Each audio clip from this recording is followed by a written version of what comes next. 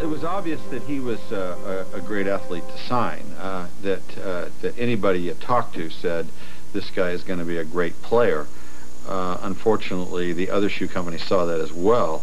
So where we don't get into the specifics of what we pay different athletes, the uh, the amount of money that it took to sign him at that time was two or three times as much as we'd paid anybody else in, for uh, a basketball endorsement before. So there was some risk that way, but I think everybody thought that he was going to be a very good player.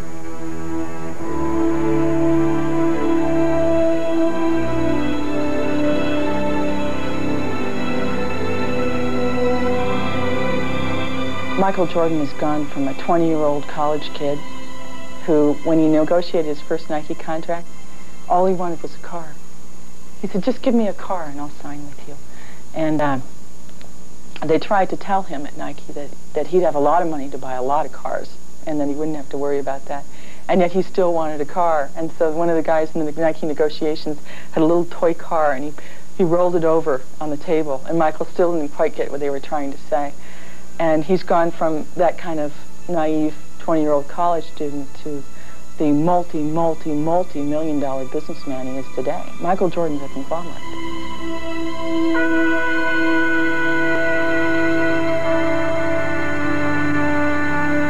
I never wore a Nike shoe until I signed with him. Uh, and I wasn't as enthused to sign with him as people might have known uh, because of my involvement with Converse, which I had to wear Converse in, during the University of North Carolina years, and Adidas, which I, um, was one of the companies that I actually wanted to wear the shoe. And when Nike brought me out west uh, uh, to go over the proposal that they were making for me, which was giving my own shoe, my uh, the option for me to create my own shoe and have input on it, and and things could not happen without my uh, uh, my approval of it. I felt that was a great opportunity for me. But I really like Adidas. So I went back to Adidas, hearing what Nike had proposed to me, and say, if you match it, I go with Adidas. And they actually never matched the deal. They couldn't even come close. So it made my decision very easy. So I went with it. It went with Nike, and they centered everything around myself, and gave me the option to create. You know, with the basketball shoe, to put my input uh, give me my give my input on, on a basketball shoe in terms of the way that I like it. And from that point on, it, it, it just kind of rolled. And what I expect out of the shoe. And if they didn't give me that option, uh, I wouldn't let I wouldn't put my name on it, even though it may be a Nike shoe. But I wouldn't put my name on it. I felt my name on that shoe gives me the right to put my input on. I get the veto power in terms of the, the campaigns itself, uh, the marketing of, of, it and ideas of it. And um, I listen to all different uh, suggestions from all different uh, agencies, mostly the ones that Nike works with. And if it's something that I feel that is it's a part of my personality or I can adapt or adjust to, I go with it, uh, knowing that Nike's going to do it first class and uh, all the commercials that we have done uh, has a little bit of my personality involved with that. And that's due to the, them giving me the option to veto it or not do it. And it's the same way with my shoes. Yo, Mars Blackman here with my main man, Michael Jordan. Yo, Mike, what makes you the best player in the universe? Is it the vicious stumps? No, Mars. Is it the haircut? No, Mars. Is it the shoes? No, Mars. Is it the extra long shorts? No, Mars. Is the shoes it, right? Nah. Is it the short socks? No, Mars. Money's gotta be the shoes. Shoes, shoes, shoes. shoes. That's bid to own the only other machine other than the one that Michael Jordan is going to take home with him. We're looking for $17,000. We have 17000 We've got 17 over here. Now we're looking for 18. Do I hear 18? 18 in the back there. Now we're looking for 19. Do I hear 19 down in the front over here? We got 18 in the back over there. We're looking for 19. Is there 19? Is there $19,000? There's only two of them existing in the world. You can have it personalized any way you want. You can play all sorts of games, have all sorts of fun. You can program anything you want in there. James Earl Jones is in there. He says something at the end when you get like lost, and then there's Barkley and Godzilla and all that kind of stuff. 19, do I hear 19 down in the front over here? We got 18 in the back over there. We're looking for 19. Is there 19? We've got 20,000 down here going once. 20,000 going twice. Sold for $20,000. Congratulations.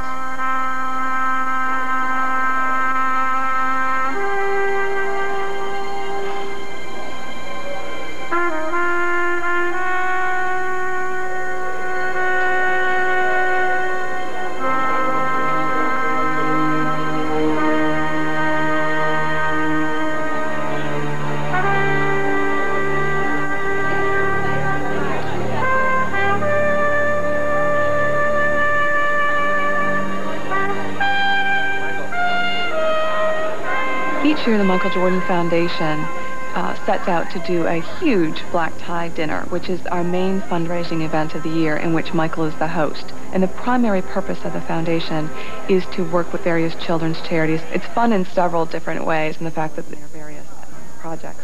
So that's an exciting thing.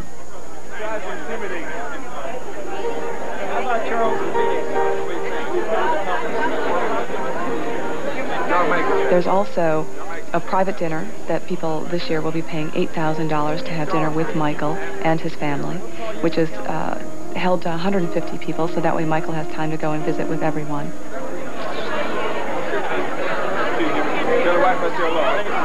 There's also a suite which is rented out for the evening, which is $15,000 a person, and uh, eight people will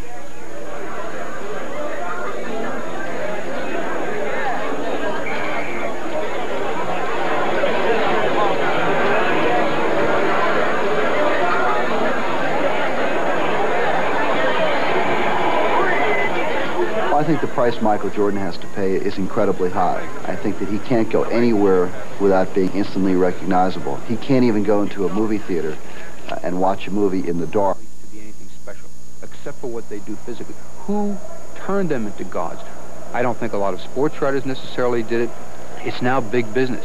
And the cereal companies, the sneaker companies, the leagues, the teams, they are the ones pounding this stuff into people on television, mostly, that these these are gods. They're selling their their sport. They're trying to make money off not just the athletic ability, but that these people are something special. It's almost as a moral uh, strength that these men can show us how to live. If we could only be like Jordan, that our lives would be better. And I say we've got to get off that because it's just not true. We've got to live our own lives and admire them as athletes. I would not like to have Michael Jordan lifestyle. I don't think that's a good feeling.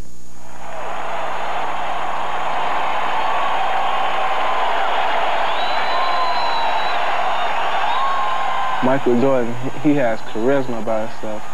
He's very calm, you know. To me, this is my opinion.